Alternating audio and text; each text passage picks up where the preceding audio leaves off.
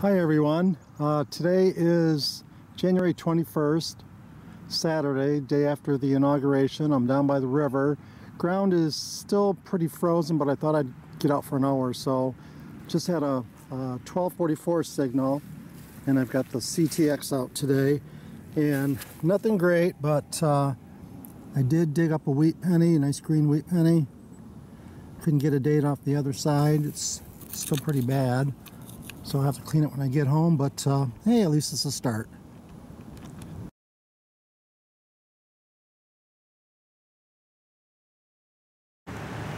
Well, it's Sunday morning and I'm out at the park. Uh, it's really wet. You can see from yesterday, my CTX, uh, really muddy. It was hard digging, but I went, came over to the park today and I just had a 1244 about three inches deep. And you'll be able to see I got a wheat cent, but I don't know the date. That part's in kind of rough shape, so I'll clean it when I get home. So there it is. Onward and upward.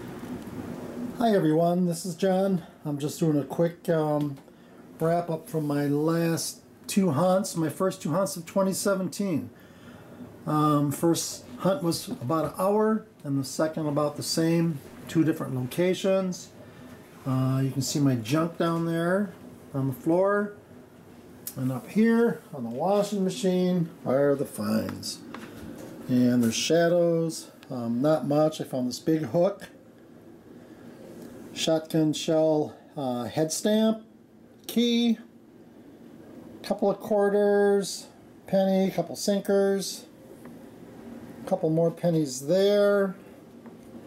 And I hate to say but my two best finds were two wheat cents. One I can't get a date off of, and the one on the right I know was a 1942. So that's it for the first hunt. I wish I had some silver to show you, like so many of you have already found, but um, I'll get some later on. Thanks for viewing.